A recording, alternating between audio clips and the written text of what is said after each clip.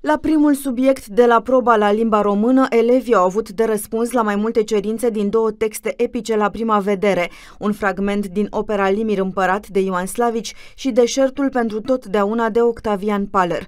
La subiectul al doilea au avut de realizat o caracterizare de minimum 150 de cuvinte a personajului Lia din textul lui Slavici. Varianta extrasă pentru examenul de evaluare națională a fost cea cu numărul 4. Subiectele au fost sub formă de broșură cu 10 pagini. Ultimele două pagini au rămas goale pentru rezolvarea cerințelor.